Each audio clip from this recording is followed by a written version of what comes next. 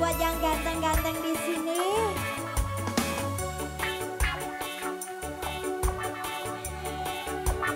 Asik. Pemirsa